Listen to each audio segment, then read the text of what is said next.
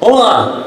Funil de vendas é uma metodologia que consiste em definir as etapas do teu processo de vendas e fazer a gestão da busca da oportunidade, da prospecção até o fechamento de negócios.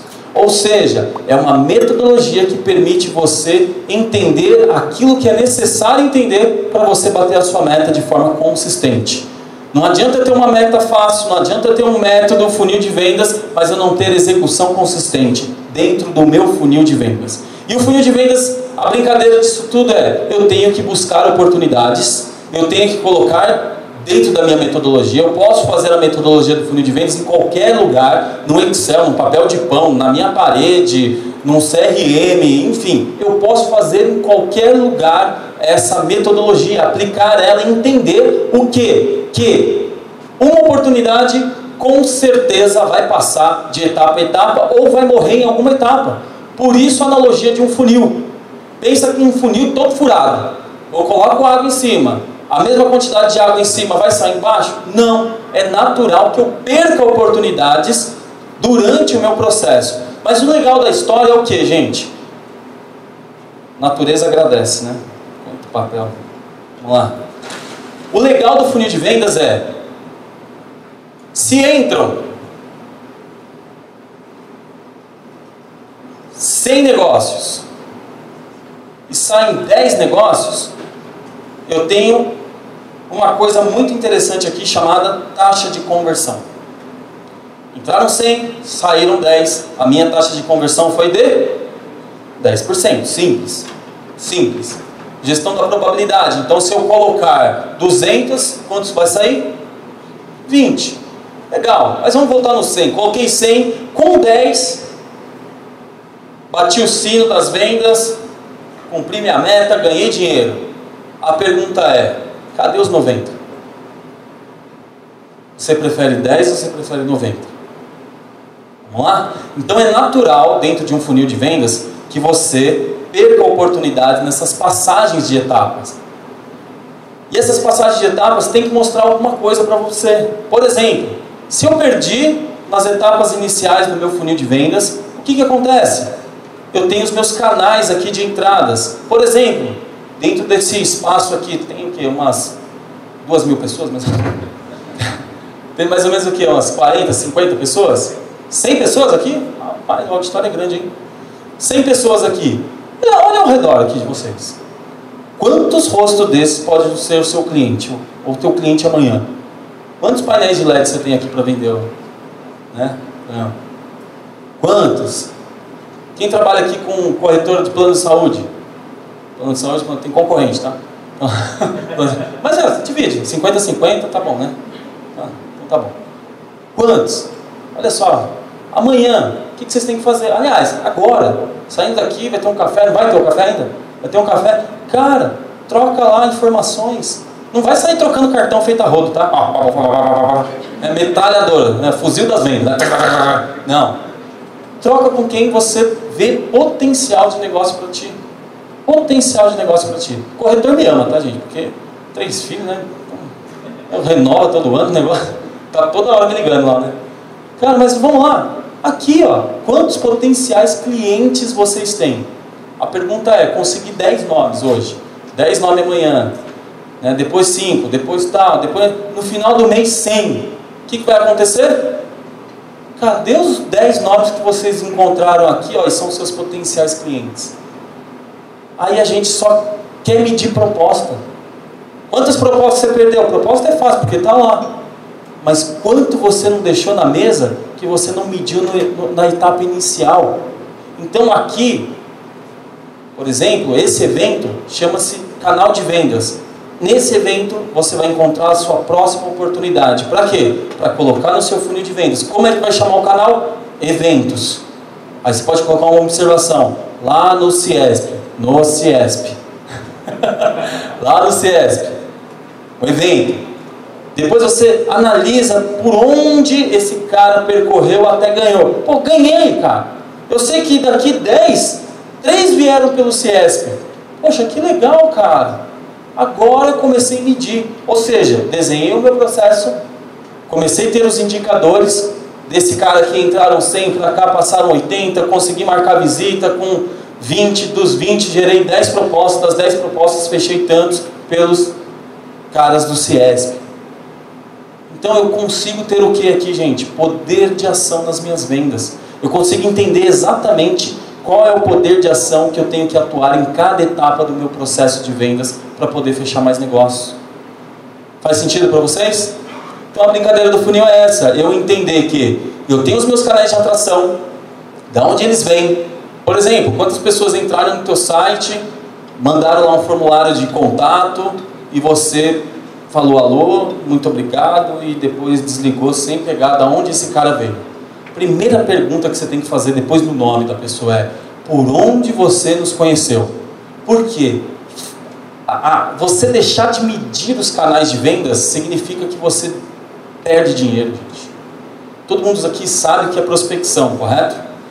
A palavra prospecção ela vem lá da indústria petrolífera ou da indústria da gemologia, tá?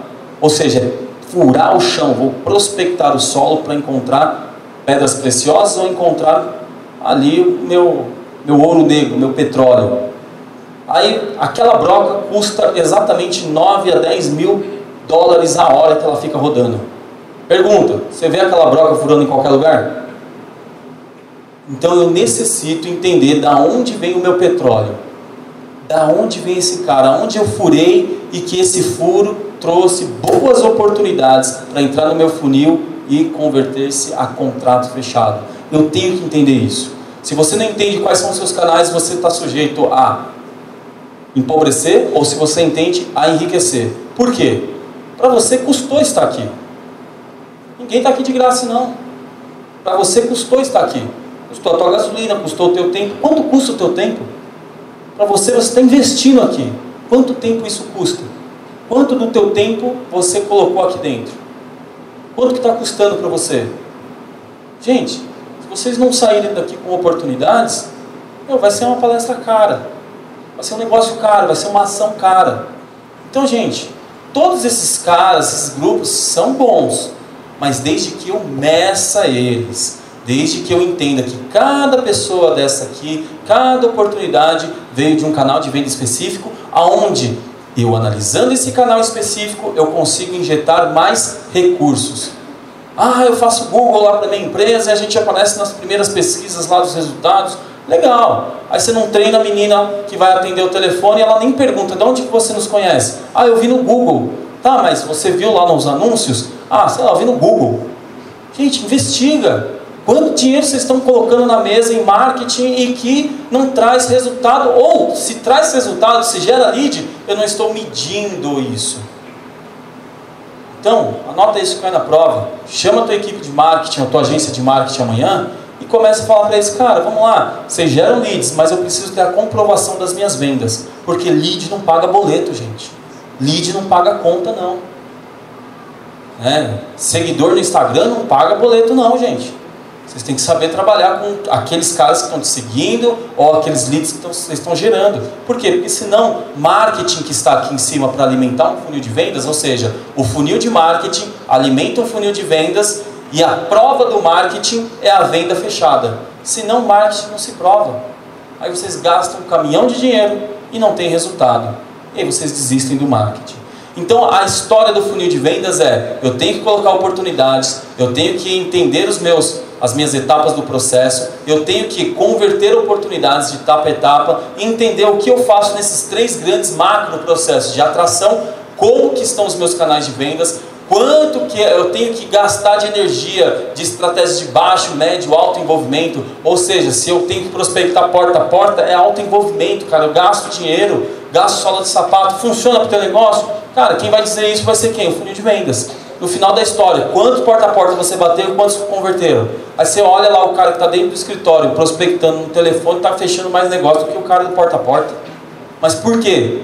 Poxa, porque ele soube aproveitar o canal de vendas. Tá?